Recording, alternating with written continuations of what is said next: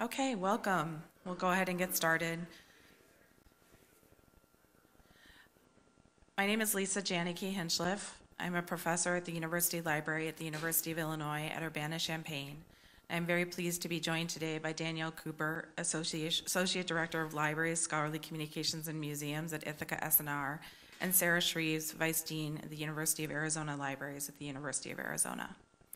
Thanks for attending this session today on licensing privacy and how we might use our contractual language to challenge and the challenge of approaching the monitoring compliance issue with respect to contractual language for privacy. There is a project website for this project at publish.illinois.edu slash licensing privacy and all of the resources that we talk about today are already there or will be there over time. And so I welcome you to take a look at that for Licensing Privacy Project. This project emerged from discussions at the September 2018 National Forum on Web Privacy and Web Analytics. And I look around the room and I see a number of people who were actually present in Montana for that session, which was trying to sort of look at the whole gamut of web privacy concerns and what we might do as a profession in the library world to take strides towards improving analytics practices relative to user privacy, tracking, third party tracking, targeting. And the goal of that convening was to produce a roadmap for how we might move forward on these questions of analytics in support of privacy. One of the pathways that we ended up discussing from that was this pathway of developing and maintaining model license language with respect to user privacy. I don't remember, it might have been pathway six or something. um, and the idea here with this pathway was the recognized need for us to look at our contracts as a way of leveraging our values and our priorities. We saw this as a productive pathway based on established and successful best practice, past practice in librarianship. We have past examples of the model licenses, and we have examples of where libraries have prioritized a particular value in our contractual work in order to move things ahead and things that are important to us. For example, with respect to accessibility, with respect to preservation of digital content that we license, these sorts of things. We also felt that having a model license language would communicate the priority of this issue to the library business community that would help them hear from us about what, you know, it's easy to say privacy is important, but what do we actually want? And so a way of communicating that priority as well as some language. And then facilitating communication and improving efficiency in negotiations by having some agreed upon model language that we could draw from. So in fall of 2018, not too long after that September forum, uh, myself and uh, Katie Zimmerman from MIT Libraries gave a session actually at this CNI conference um, called Negotiating for What We Want, a proposal for model license language on user privacy, beginning a dialogue with the community of what would this look like if we undertook this work in a very pragmatic way. And that resulted in um, fall of 2019, the securing and uh, the awarding of a grant from the uh, Mellon Foundation that would support this work. Now you might notice fall of 19. So what we thought we were going to do versus what we actually did, you can imagine all the ways that this is different. But I'm going to um, say again that we're very grateful to the support from the Andrew W. Mellon Foundation and particularly the graciousness and flexibility of our program officers as we have pivoted this project multiple times again and again to keep moving it forward in light of the, the system that we're, we're facing. So our theory of impact for this grant was to seek to use the power of library licensing agreements to affect change in third-party platform practices. So the ways that our library business community, the vendors, treat user data in order to bring them into alignment with library values of privacy, confidentiality, and respect for user control over the user's own data. We, of course, know that there's been much work in the community to start these conversations, for example, the NISO privacy principles and the like, but to really move these into operation and into the contractual language. So prior to realizing we would have a pandemic, the idea was we were going to have a contract language review, We were going to interview some library leaders, and then we were going to have this in person meeting, generate language, finalize it, vet it with the community, and disseminate it. So, that is not what we did. Instead, we were able to do still the contractual language review. And we've pivoted to a series of sort of investigations and disseminations that revolve around a set of white papers and webinars. Um, the white papers themselves um, reflect different topics of investigation.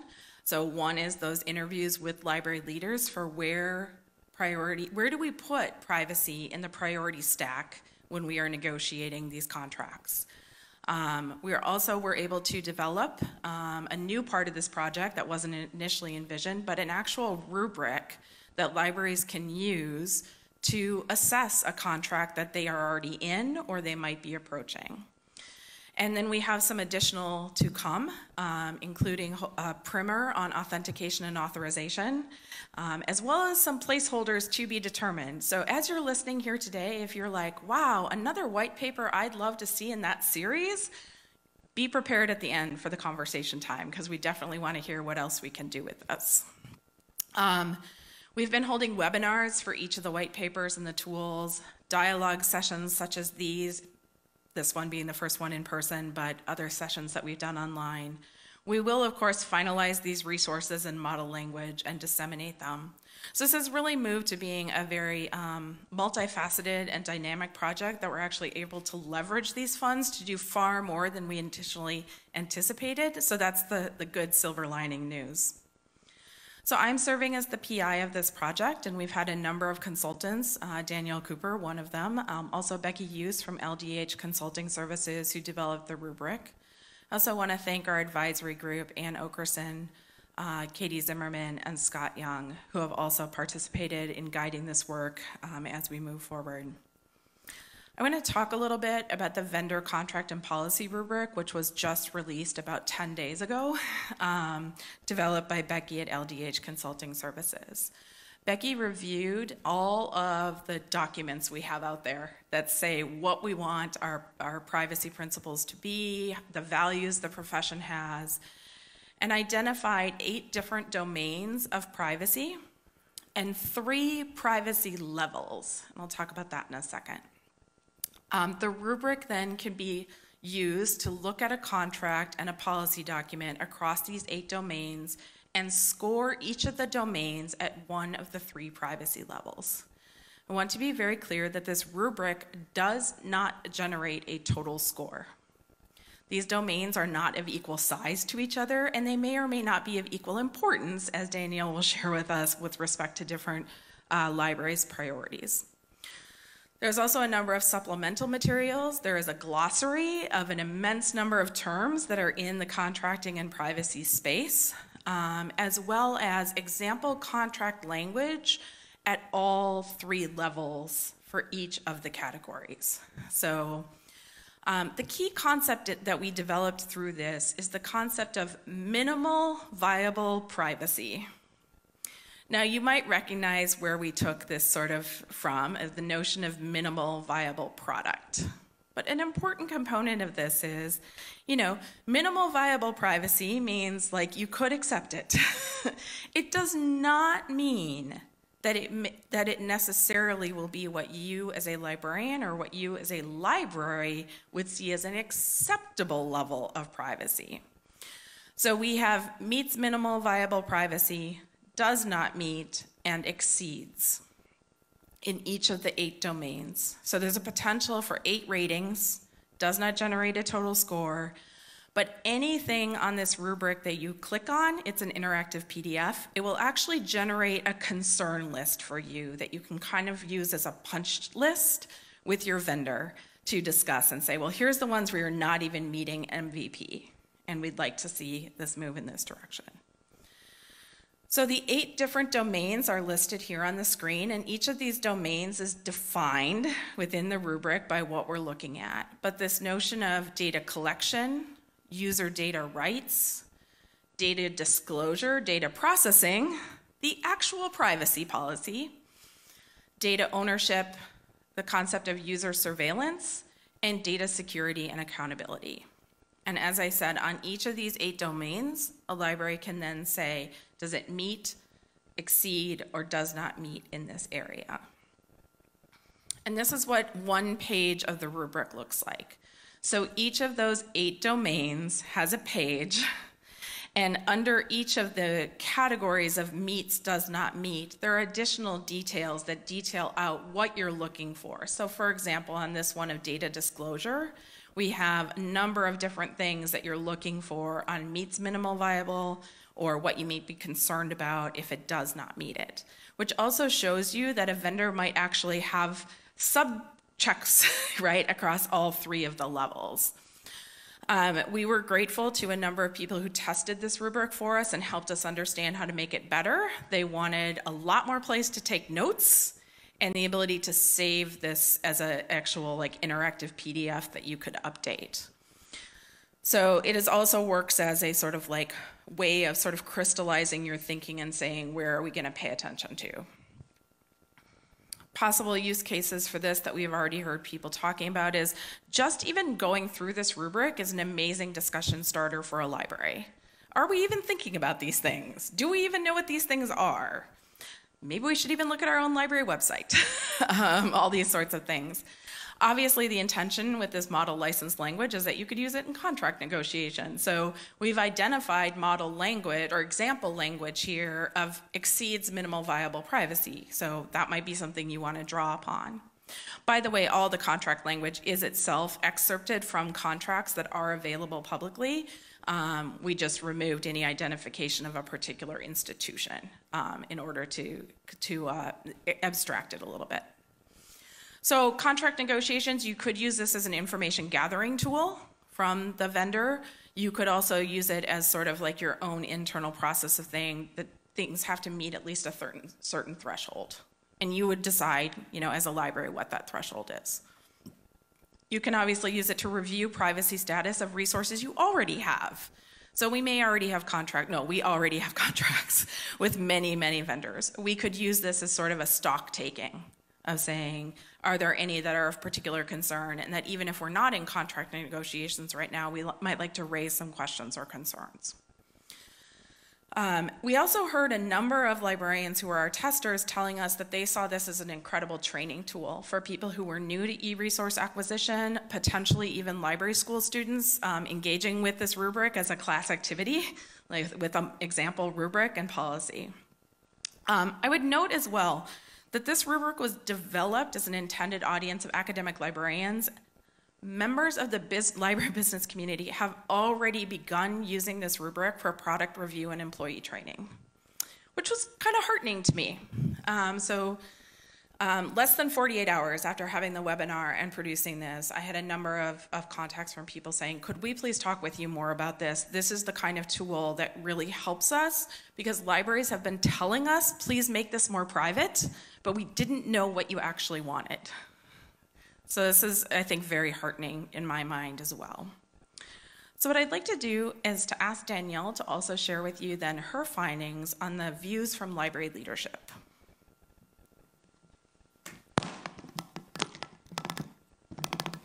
Hi, everyone. I can't see you because I'm too short, but hopefully you can see some part of my head. Happy to be here. So I'm Danielle Cooper. I'm the Associate Director of Libraries, Scholarly Communications, and Museums at Ithaka S+R. And I want to thank Lisa and CNI for having us here to talk about this project. And I will be talking about the research we did with uh, library leaders on their perspectives about the strategies that make sense for their libraries on this issue. And just for some context, part of the reason why I was asked on behalf of, of S+R to do this research is because uh, S+R is a not-for-profit research organization, and we regularly are doing work related to library leadership's viewpoints, such as through our triennial library director survey. So the interviews that we did for this project were with leaders about how privacy concerns inform their libraries' negotiations and agreements with vendors. We also did a few exploratory interviews with librarians in this phase to understand a bit more about license negotiations uh, and how it informs planning on the ground because that would be useful for a later phase of the project. So uh, there may be some folks in the audience who were um, interviewees, and I want to take the opportunity to thank those, both here and not here, for taking the time to speak with me um, on this issue.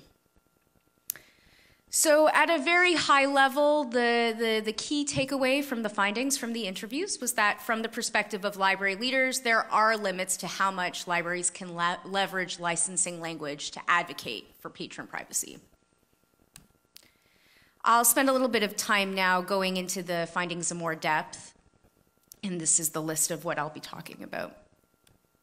So, first, talking about the issue of privacy and where it actually fits in the priority stack for libraries.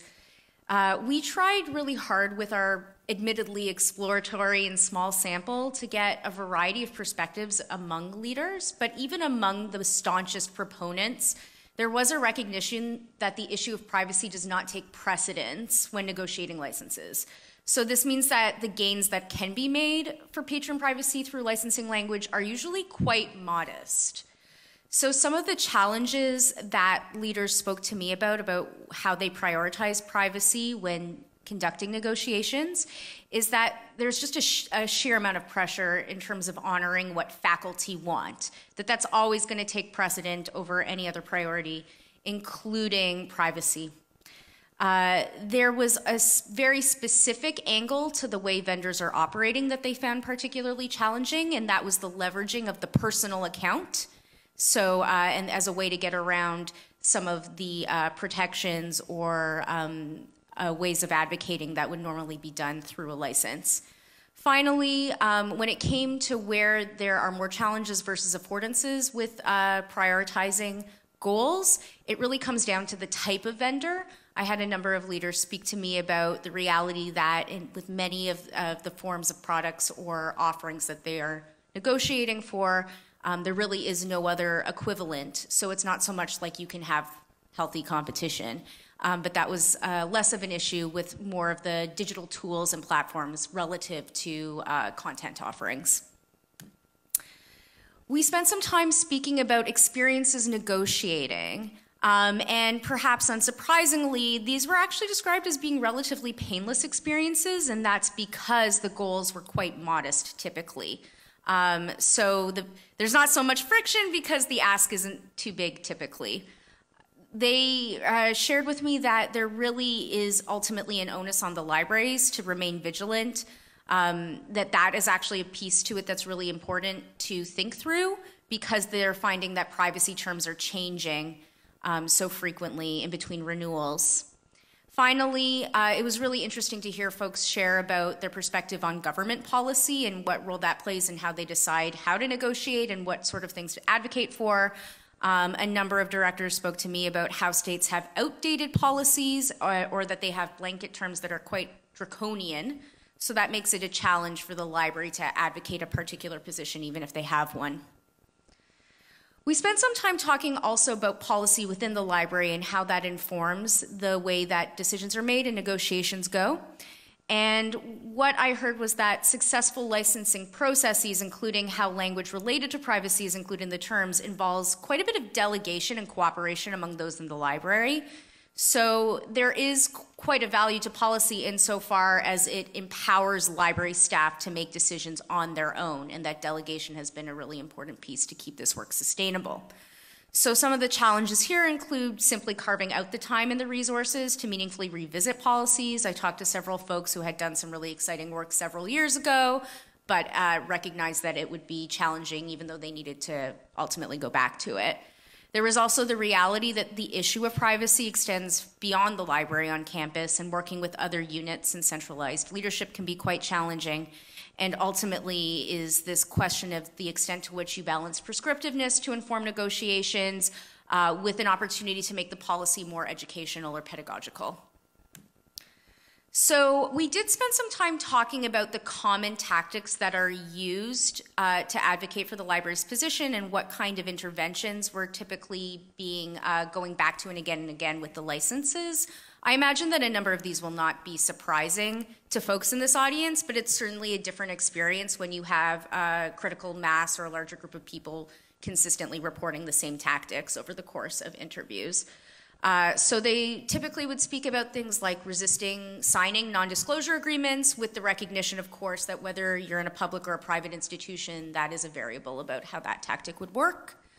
Um, they really um, uh, emphasize the reality that you know there's opportunities to clarify which terms are being consented to and who can consent to terms, and this is especially relevant when you start getting into the place of the personal account and the idea that maybe it's not possible for somebody to personally consent to something that is then required for a class. Um, of course, there's always opportunity to clarify when and how user data can be shared and uh, this is especially important because uh, vendors are typically expecting people to actually push back on their licensing terms, and this is an area where it, you can fruitfully get to a better place by simply um, reclarifying the language. Finally, uh, it was fairly commonly reported that there be a required uh, notification in the event of a data breach. But interestingly enough, I do not think that even I don't think even one person had an example where that had happened after they'd required it, but they still saw it as part of the tactical approach. So it's one thing to actually negotiate for terms that would be appropriate, and it's another thing to actually ensure compliance. We wanted to make sure with these interviews that we also did the diligence to find out how libraries are approaching that part of this process.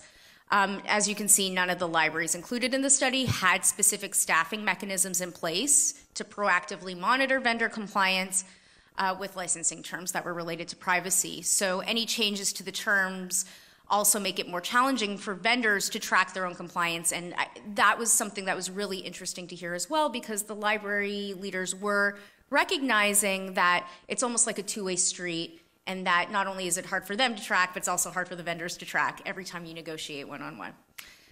So there was one library in the study that's using web crawlers to flag any changes to privacy terms posted on vendor websites between negotiations. Um, but that doesn't necessarily capture that the vendor is violating those terms. So it's really just about keeping up to date about the changes that the vendor uh, had made and had thought that the onus was on the library to realize that the change had happened. Um, and then compliance monitoring uh, as it relates to single sign-on would really need to involve staff with other campus units with security responsibilities. Um, and again, as per my earlier findings, it's particularly challenging for libraries to coordinate and the, some of the libraries that felt that they'd been most successful were speaking about wins really related to getting groups of stakeholders together from across campus to really be on the same page with this issue. So the study here is relatively modest, um, but uh, we identified two ways forward that I, I, think are really important to flag. The first is simply around staying current, because the terms are perceived uh, by to be proliferating, and it can be very challenging to develop model language that is quickly out of date because it's quickly out of date. So the idea here is that um, it would be helpful to have more flexible approaches to developing and collecting model language. Um, some folks that were interviewed talked about things like wikis or applying version numbers to term instances. Um, but this idea that coming up with a model language uh, and then hoping that it could be applied, that they were concerned about the idea that it'd be out of date quite quickly.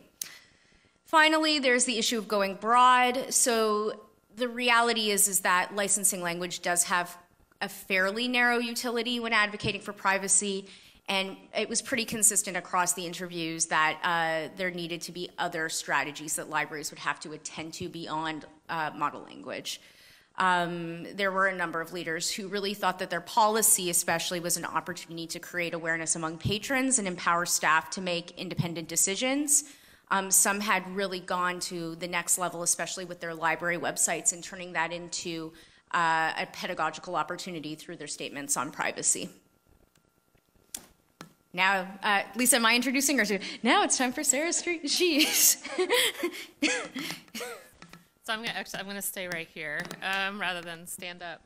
So I'm a, I'm just gonna talk from my perspective as a library administrator um, at an institution that's still really in the process of uh, getting our house in order around this issue. So we've been thinking a lot about how we do this, about the resources necessary to do this and sort of uh, just all of the various pieces there. Um, I, was talking to one of our um, uh, electronic uh, resources librarians who's been with us for years and years and years um, a- about this issue, and, and I just wanted to quote what he, what he said. This issue has so many layers and it's like an onion. When you peel back each one, it just brings more tears. so, um,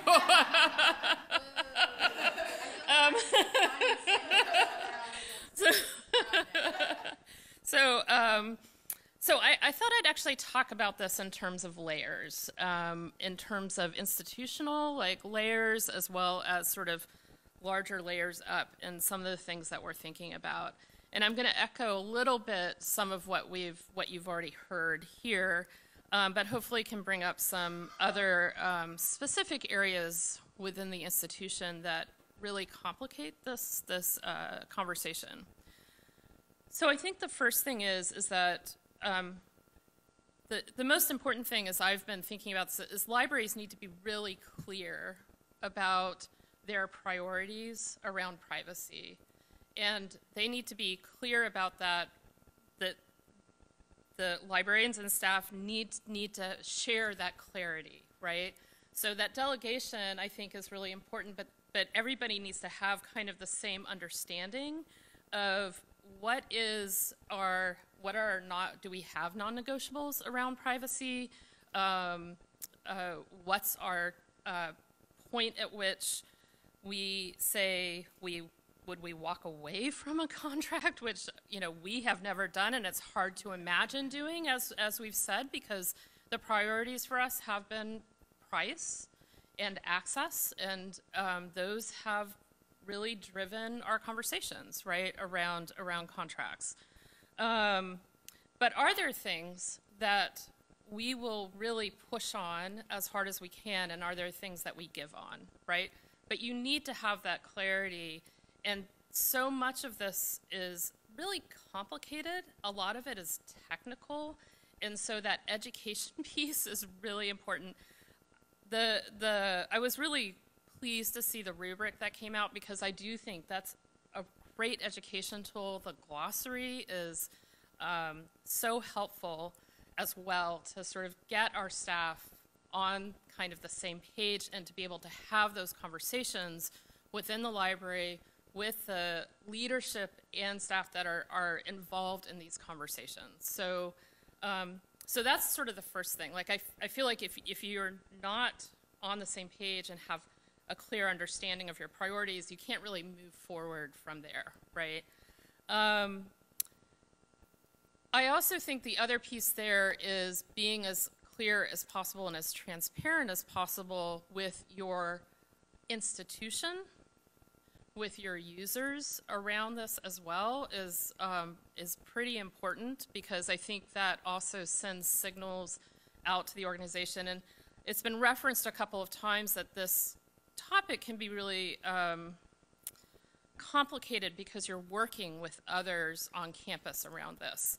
Um, and I and I do want to highlight that. So we have um, been surprised over, especially I would say, the last two years.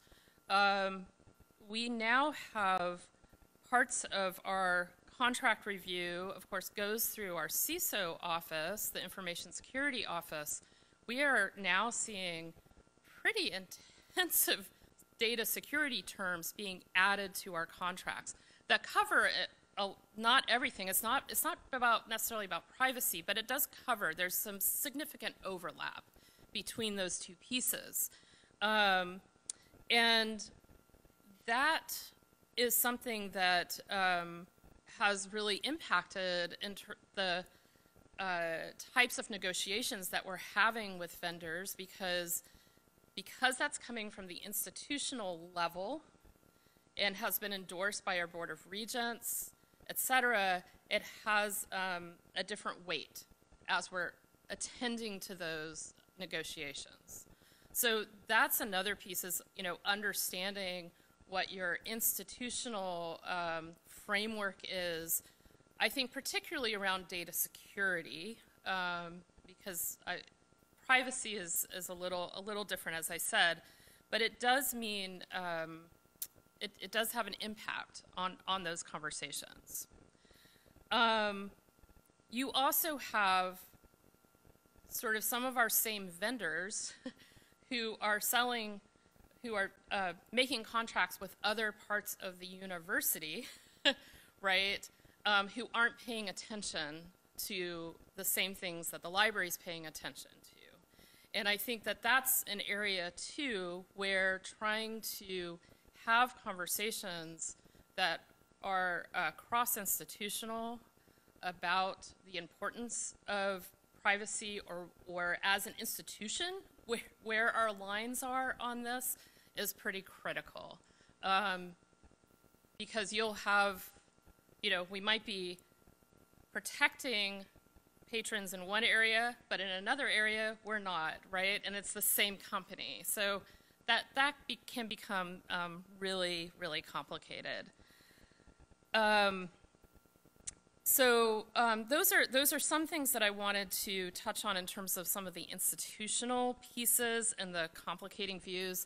You also have, of course, around, um, as was mentioned, around issues around um, authentication, um, uh, seamless access. You have the types of conversations that libraries need to be having with their central IT shop around this, and those are conversations where um, you know, you really have to get into, again, alignment around privacy and what um, they're, sharing versus sort of what we want to be able to do that. So um, it's, there's, it's a lot of, it's a lot of work to do this in terms of the types of conversations. And often these are like leadership conversations, right? So this is also a lot of um, what I've found a lot of my time talking to uh, administrators in other parts of the campus rather than sort of, um, you can sort of push it down a little bit, but it is, I think it requires leadership to sort of step up and to have those conversations.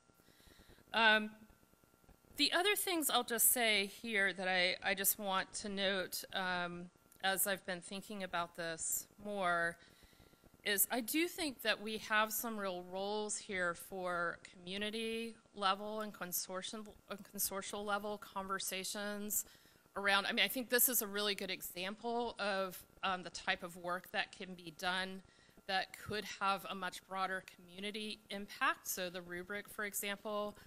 Um, but I also think that this is an area where I would want to see uh, um, not just library conversations, but conversations within our within EDUCAUSE and IT, so cross-library EDUCAUSE conversations, but also with I think organizations like AAU and APLU about sort of privacy more general, like broadly about higher ed. So could we imagine uh, groups coming together to assert what we see as best practices around this that could have a broader impact than within, within just the library community or just the IT community. Um, and then I think finally, the other thing I'll say here um, that we haven't quite mentioned, though uh, Danielle referenced sort of uh, governments or regulations. I mean, I do think that there is a real need here for user privacy legislation that could help set uh, a bar, right, in terms of what is expected um, at a national level um, for user privacy. And this is an area where I think the type of, um, I also wonder about the role of organizations like AAU, APLU, ARL, ALA in terms of advocating for that type of legislation that could help sort of, again, set, set that bar. So um, I think, you know, again, this is ultimately about, um, in some ways, about uh, trust, right? Um, it's about setting library priorities, um, and uh, I think it's, it's, it is going to take a lot of work across the, the community to, to think about how we do this and how we ensure compliance which is something I haven't really touched on, which I, I find very hard to get my mind around. So I will pass it back.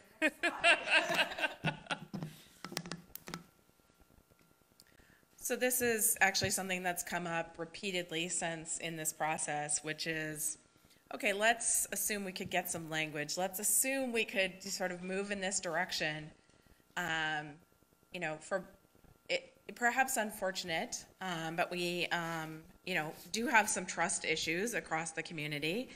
But so, like, what does trust but verify look like in this, particularly to the degree that if we are taking this on in a contract, you know, in some ways, libraries are also making promises to their users, right? So something that I know I, in my own library, let you know, uh, encouraged a process that I then participated in, um, actually back in like 2017, 2016, was a review of our own library privacy policy to make sure that it was actually descriptive, not aspirational.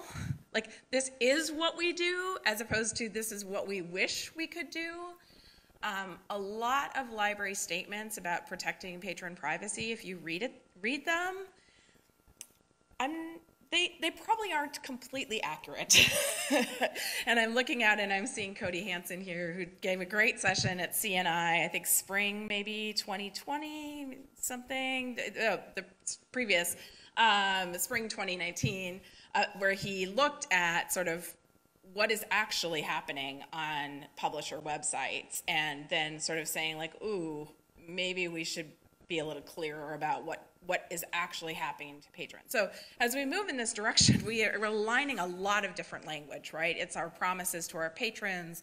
It's what we're asking for from the library business community. It's what we're asking our institution to help us sort of enact and create an environment for. So the challenge we have is that ultimately probably libraries have limited capacity to monitor compliance with license terms for user data privacy. Um, this is limited for a number of reasons. Some of it is actual like, do we have a person? But the other part of the challenge of this here is of course, like some of this stuff you can only actually like see in the sense of test it out if you like make an account and then try and see what starts happening with recommendations that come into your and this is not like go to the website and run a little like accessibility checker on it because so much of where user data might actually go in a way that's surveillance or recommenders or recommenders you didn't expect to have happening is only going to happen once you have an account. And so, like, which librarian among us is going to volunteer to set up 400 accounts on, or, you know, just even 200, right? To see what start, and then to try and keep track of that because it'll happen over time. So, um, the conversation that we wanted to have today, although we can have a lot of other parts of this conversation, is some community reaction and thought on this compliance question we have models um, kind of out in the world of sort of vendor report and attestation. And we're sort of going with a version of attestation right now of like, well, you put it in the contract, we agreed to the contract, so we assume that you're meeting the contract. Um, there are other approaches to attestation where you have some additional documents that maybe are filled out during the process um, with respect to data security, or sorry, accessibility. There's the HECVAT, H-E-C-V-A-T you know, would something like that be useful to our community if we had some sort of standard reporting process that's, a, I believe, uh, managed by EDUCAUSE? Um, there are approaches, obviously, out there in the world where one goes to some sort of third-party certification um, and an audit process. Obviously, the further we move along here, we also start to see the increased cost on the vendor side. Um, and so clearly, if we were doing something that was some sort of third party certification or audit, we would want the library community to say, yes, this is the one. like, this is what we're going to look for, um, just like we might look with a VPAT for accessibility as well. So, this is really a question of sort of like, what do you think? Is it feasible to do anything besides attestation? Is it desirable to do anything besides attestation? if you could design something we would do, what would you want that next white paper or rubric or document to be? Um, because there's the possibility here of still um, developing additional resources that would be useful to the community. Because if I can say like, it, I don't know, I think it's okay to say this, like as with many things when we brainstorm what we think a solution might be, which is we thought the solution was model license language, like a document that we would all use, I love this onion tears metaphor. it's like actually the license language itself is kind of like the least complicated part of this. And ultimately, I think, regardless of whether we have model license language, which we will, I promise, um, I think it's going to be these other tools that are actually going to make some sort of change in our process in our community. So, with that, I'm going to invite people to the microphone and I'm going to take a lot of notes as you're talking. Um, interested in compliance, but also in this topic, sort of more broadly, there's a real opportunity to continue to scope the development of this project as long as we're doing things virtually because it's way cheaper to have Zoom meetings than to bring everyone to Chicago. So, thank you.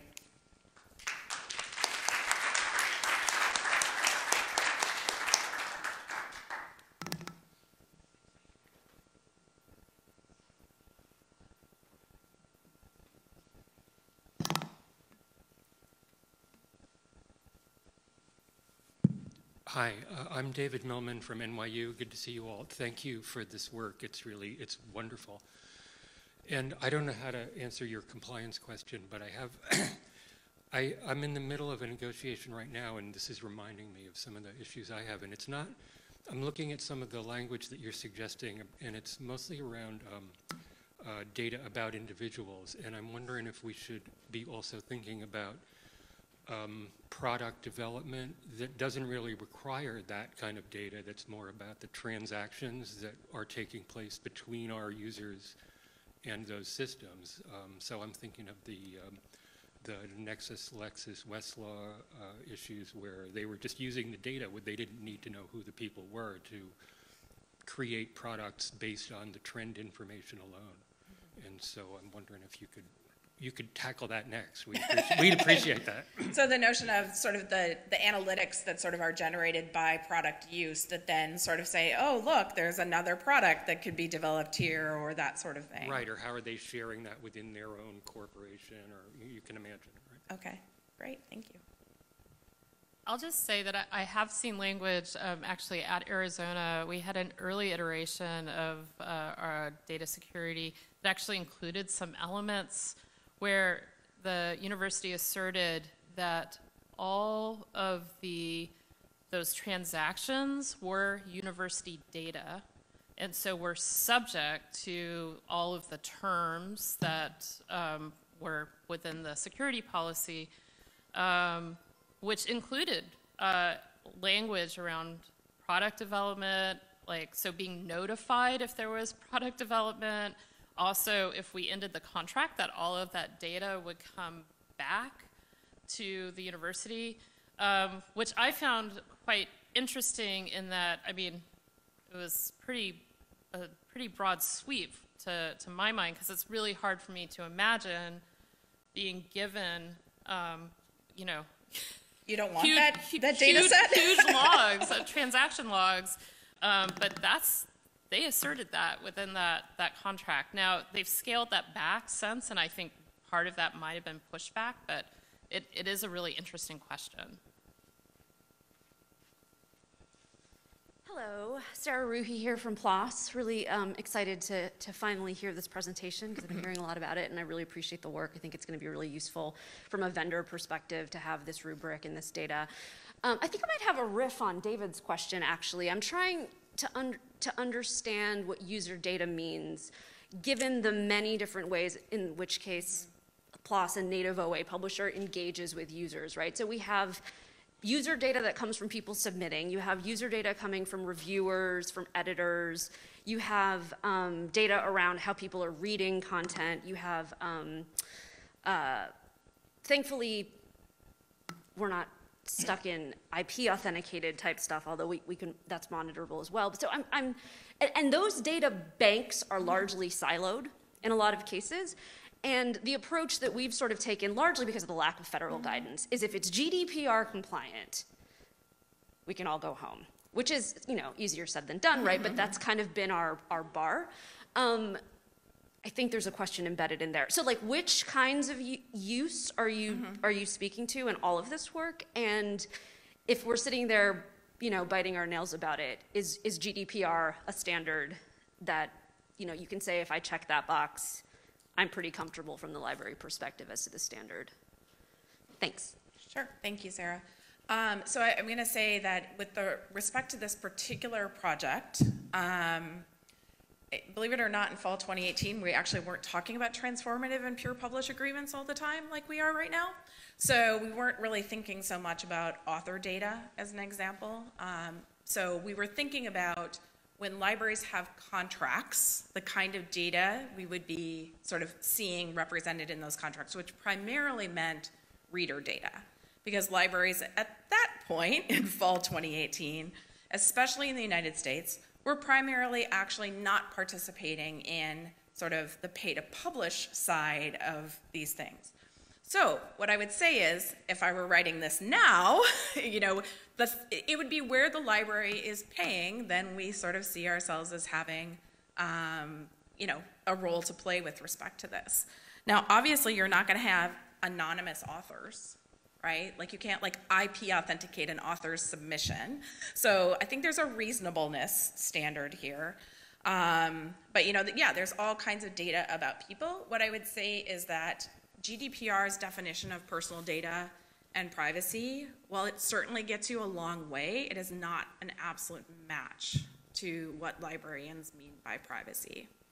So at this point, pretty much I'd expect any sort of vendor in the library business community of any size almost to be GDPR compliant, and yet we're still having these conversations. So I will say that I, I think it's not. Um, so it's it's definitely difficult to tease out the difference between sort of a legislative definition and sort of the library's value on privacy. And I mean, I will say I think Sarah's kind of um, alluded to this, and I'd be interested to have her talk about this a little bit more. Like, I want to be really clear. Like, the library world isn't actually all of one mind. You know, like when we say privacy. Um, so th- certainly that makes it more challenging um, when we're, which I think is why so many vendors came back to me. I was like, oh, a rubric, you wrote it down. Like, okay, this I can work with. And ALA does have some vendor checklists as well, but they're not actually, they're kind of more principles as opposed to actually sort of more tactical. But Sarah, I'm wondering if you'd talk a little bit about the challenge of even getting one library, like, like understanding privacy together.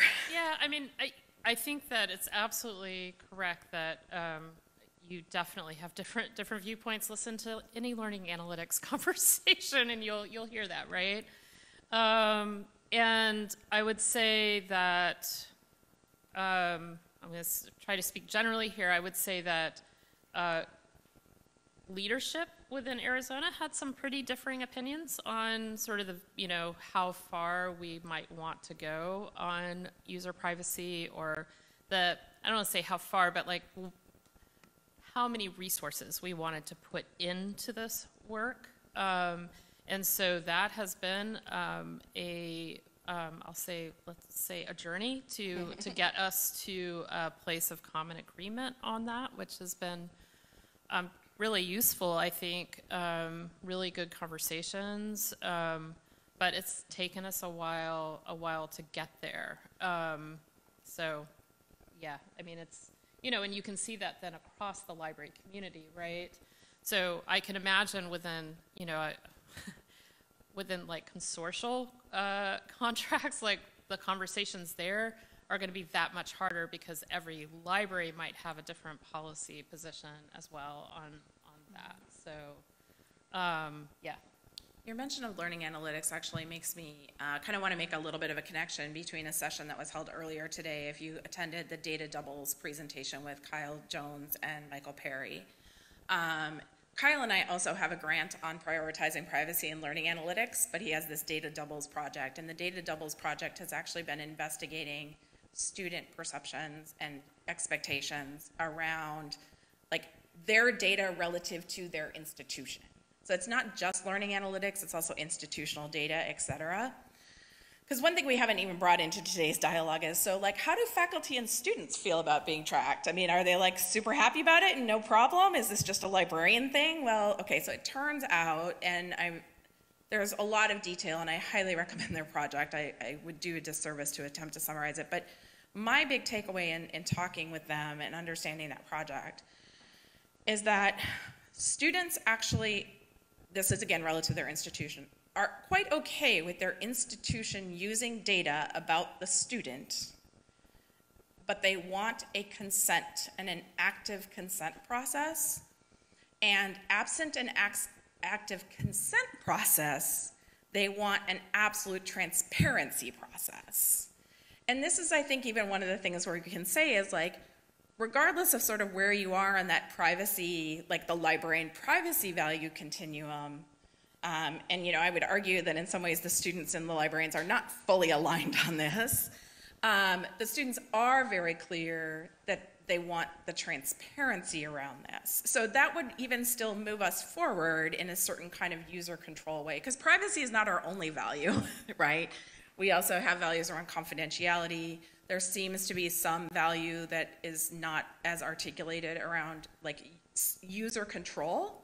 And this is definitely in the library community, the degree to which the library takes a paternalistic role relative to user data, or a role that says, we want to create conditions in which you can make an informed choice. And I would say those two are still sort of very much battling is maybe too strong, but these are definitely not, they are easy to find both of those positions in the community.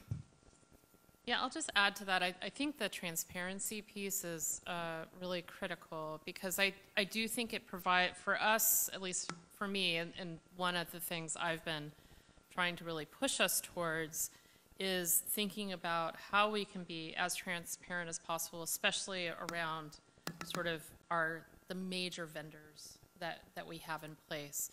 Can we have a place on our website that says basically this is what this vendor says they do with user data. You know, this is our contract language, and so so you know that this is what we're agreeing to, um, because at least then people can see that and understand that. Um, so yeah, I, it's a but it's a challenge um, to track that, right? Because that also then gets into the changing terms, et cetera, where, where you can't always say, this is what's happening, so.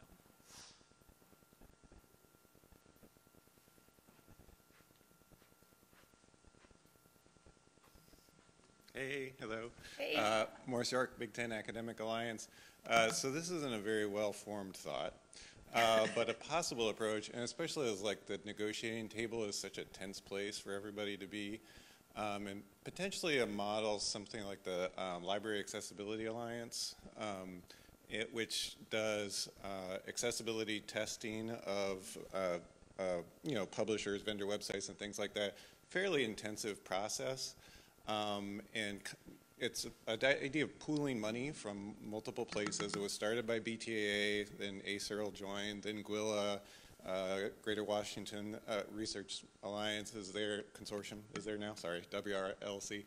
Um, and uh, it is pooled money to be able to contract out and do those kind of reports, and it's a partnership with the vendors and publishers as a joint effort is like we want these audits we want to be able to post those reports publicly um, and things like that and to me the library accessibility alliance is really interesting as a model since it um, started small with a few institutions it's not like a big thing like let's all agree on what accessibility is or what privacy is let's start small and then start to grow it and s- see the evidence and the success and then those who join in can and things like that. So this is a suggestion of potential model to approach privacy.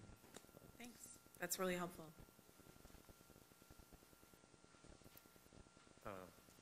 Rob Hilliker from Rowan University. So it's funny because I'm usually a very uh, pro cooperation person, but I think I'm almost taking an opposite idea from Maurice's there, which is is there a way to operationalize or like actualize the cost to the vendors for non-compliance? That seems like something that could be part of license terms.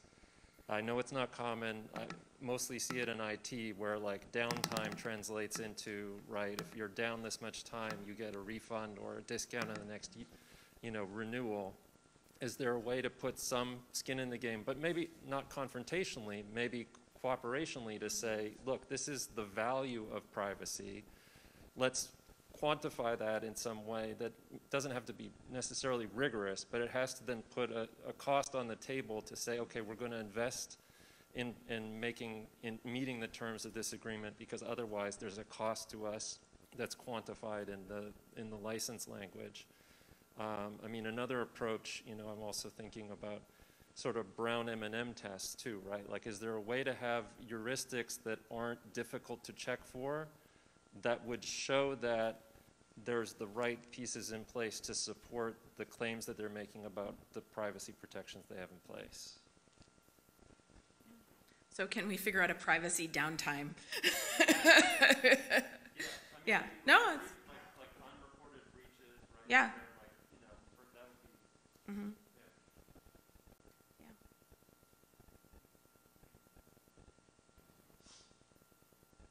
I think one of the very low-hanging fruit that seems like quite reasonable is, you know, if you change your privacy policy that we've agreed to in this contract, you would let us know that you changed it. Like, because usually the policy itself is not in the contract, it just sort of ref- refers to this thing that's somewhere else. And, you know, so as things that are elsewhere change, like the noti, so let's, I guess that would be notification, attestation and notification, and right now we're kind of missing even notification in a number of these things. Which I think ultimately comes back to, I keep coming back to like what we're telling our users, right? So like if we've told them it's this thing and then it's not, the trust our users have in us has a chance of eroding. And I'm, I'm thinking right now how much I'm happy I am not a law librarian with my students, like wanting to cancel, you know, LexisNexis and Westlaw and like, like that is a very, that is a very difficult situation to manage when your patrons are wanting you to cancel a resource. So not something most of us deal with.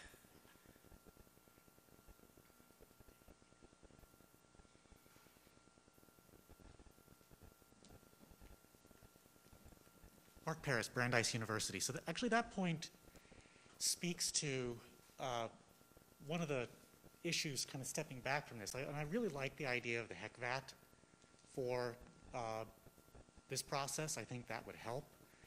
But kind of taking a step back, those license terms, it seems like we need better data on our light. We've, we've probably all invested in going through our licenses, digitizing them, putting uh, license terms in our uh, e-resource management systems, et cetera, et cetera. But there has been a standard for a long time, the ONIX PL standard for license terms. And vendors have never lived up to providing license terms in that format for us to actually consume electronically and then to be able to do analytics on, to be able to, to do things like compliance and holding accountable uh, and understanding the, the broad spectrum of, of where our licenses uh, live in terms of the terms and conditions. So is there a space here to actually begin to also put that infrastructure in place in terms of license terms and given a standard that already exists in ONIX? Thank you.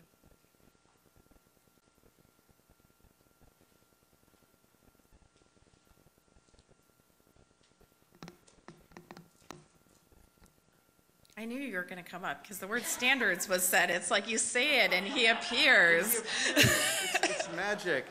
Um, just to respond to the last question uh, with regard to ONIX, so sorry, Todd Carpenter at NISO.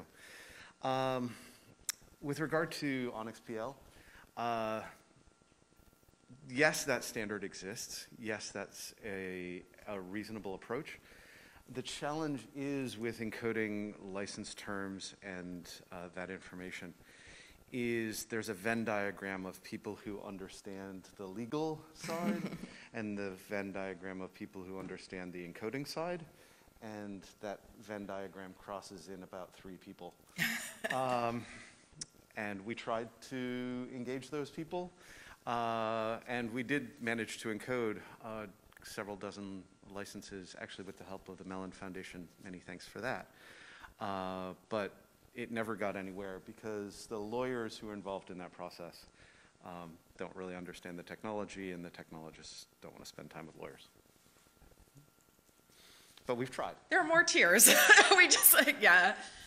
Um, we are at the end of our time. I want to thank all of you for um, thinking with us here today. I want to thank Danielle and Sarah for their wonderful remarks. I hope to hear from many of you. Um, both of the webinars we've had so far are also available as recordings on the licensing privacy website. And I will be very happy to hear additional ideas. Um, you can find me very easily, email address and the like. Um, and I'd love to continue these conversations. So thank you so much for your contributions here today.